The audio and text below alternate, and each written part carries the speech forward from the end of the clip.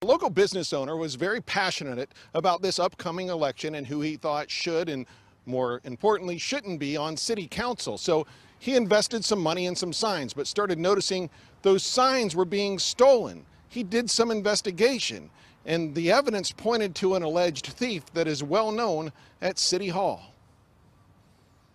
During any election season, this is a sight that isn't completely uncommon someone swiping campaign signs. And in the case of these particular signs in Fullerton, they were apparently being stolen a lot. I put 180 signs out, and within three days, all 180 signs were down.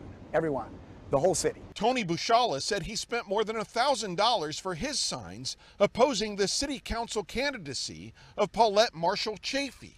And when Tony looked at two different surveillance clips of signs being stolen near his business office, he immediately recognized who the alleged sign thief was. He says it was Paulette Marshall Chaffee, who also happens to be the mayor's wife.